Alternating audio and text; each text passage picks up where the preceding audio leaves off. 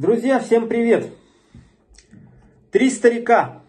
Долго я пытался понять, как начать данный ролик. Там что-то про недорогие напитки, что-то про сложное финансовое положение. В общем, что-то такое, что когда нету в кармане достаточного количества денег, чтобы купить что-то приличное, а выпить хочется что-то кроме водки. Ну, я иногда беру вот такую вот бутылочку. Кстати, 250 миллилитров стоимостью 190 рублей сегодня я брал в магните. В пятерочке она же по 217.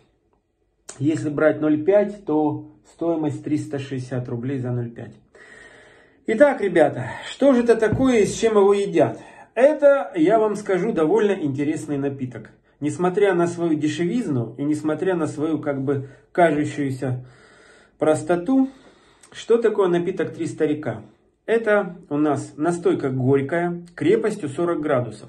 В составе мы имеем вода питьевая исправленная, спирт этиловый ректификованный из пищевого сырья, зерновой люкс, виноматериал, коньяк, настой спиртованный листьев яблонь и груш, краситель сахарный колер первый простой, сахарный сироп – настой спиртованной коры дуба, а также мед и натуральный ароматизатор ванилин. ванилин.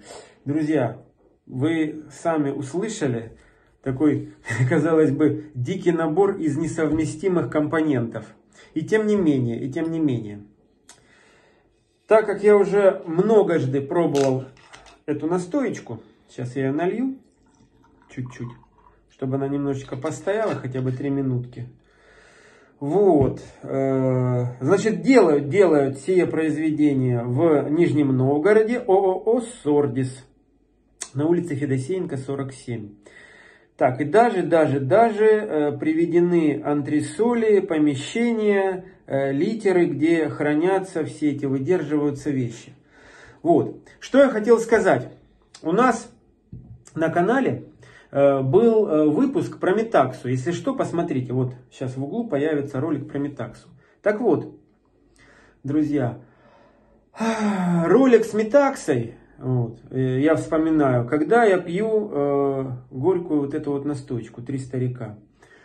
Потому что я так предполагаю, создатели вот этой вот настойки, э, как бы, как подобрать слово, не знаю, имели в виду метаксу, скорее всего. Потому что, ну уж очень-очень похож состав основных компонентов.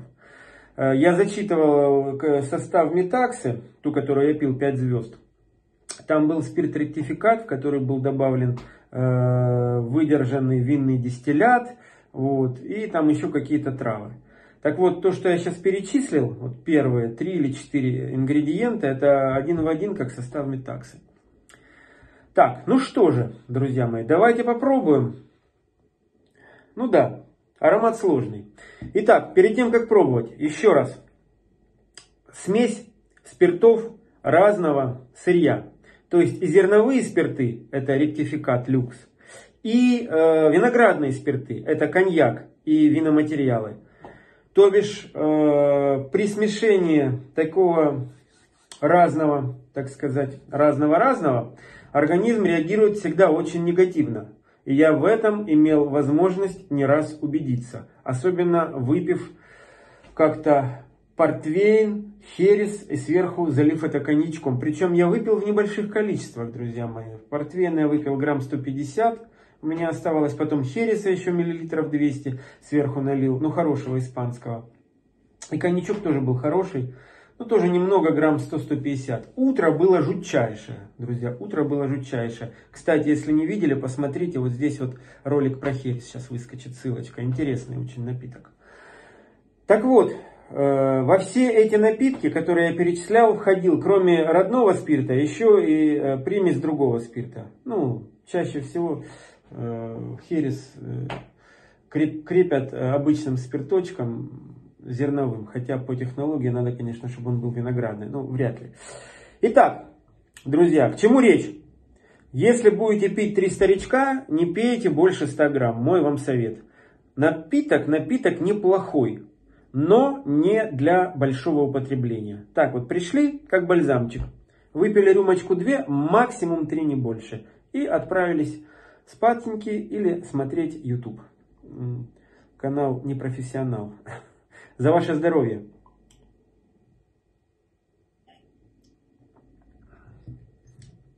Да, друзья, да. Ожидания не обманули. Все то же самое, что я и ожидал. Такая спиртуозность присутствует, но идет, э, так, знаете, э, как сказать, гармония вкуса или разнообразность вкусов такая, что очень приятно пьется. И все-таки чем-то это мне напоминает метаксу, честно говоря. Пусть не ругаются на меня любители метаксы, но вот три старика, по-моему, э, изготавливались э, с замахом на этот напиток. Кстати, в Беларуси, по-моему, э, производят напиток под названием Старка. Это вот то же самое, что три старика, насколько я понимаю. Ну давайте, господа подписчики, спасибо, что смотрите. Не забывайте лайки ставить, это когда пальчик вверх. Не когда пальчик вниз, а когда пальчик вверх. Подписываться. Ну и, естественно, под каждым роликом есть ссылочка на донат или номер карты. Будем рады помощи. За вас, дорогие мои.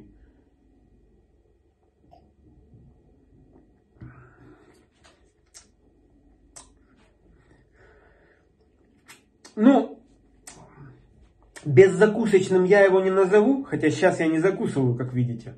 Но я просто не положил изначально, уже не хочется вставать. Так, терпимо, можно перетерпеть, но лучше все-таки закусывать. Этот напиток лучше закусывать. Он такой жестковатый, друзья мои, жестковатый. Но рекомендую пробовать. Кроме э, вот такой напитки, три старика, э, э, такой настойки, три старика, есть еще три старика пьяная, пряная, господи боже мой оговорки по Фрейду. Три старика пряная, с синей наклейкой, с синей. Вот ее я брал один раз и больше зарекся брать. Больше брать не хочу, э, потому что это что-то ужасное. На вкус она мне напомнила лекарство из детства, пектусин. Вот. Есть также еще три старика кедровая, которую я никогда не пробовал. И еще четвертый вид настойки три старика, не припомню сейчас. Тоже какая-то интересная по названию, но тоже мною не пробованная. Кто знает, напишите в комментариях. Так что, друзья, пробуйте, испытывайте. Нижние полки магнита и пятерочки тоже могут быть чем-то привлекательны. Там тоже есть какие-то интересные напитки. Всем пока, до новых роликов.